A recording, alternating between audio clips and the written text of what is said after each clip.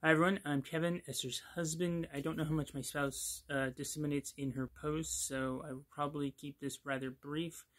Um, over the past several days, we've been to the ER in about as many times. Um, each time we are um, given good news. Uh, MRI, X-ray, blood tests, what have you. Um, all clear. No, no life-threatening issues uh, to report. So you can go home. Um, unfortunately, um, that does not make the symptoms go away. Um, and um, furthermore, um, one of those uh, came to a head, a rather nasty head last night, and um, we were again told uh, we can't find anything. Go home.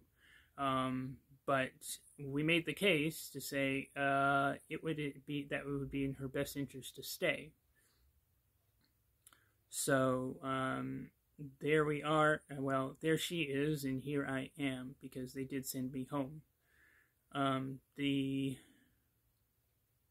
the hope the the, um, the the hopefully good news is that um, last night um, gave me an epiphany, uh, a revelation, if you will, um, about a friend who is who who experiences uh, rather similar symptoms, and so um, after getting up this morning, I was able to look into it, and it actually looks like we might be on the road to answers. Uh, so uh, that is where we are now. I'm going to be leaving momentarily to go um, see if I can um, see her and um, give her that uh, that news. Um, which she can then take to her doctors because um, unfortunately the emergency department can't do anything for us. Um, and while I 100 respect that, uh, 100% respect that, um, that doesn't make it any, any less frustrating.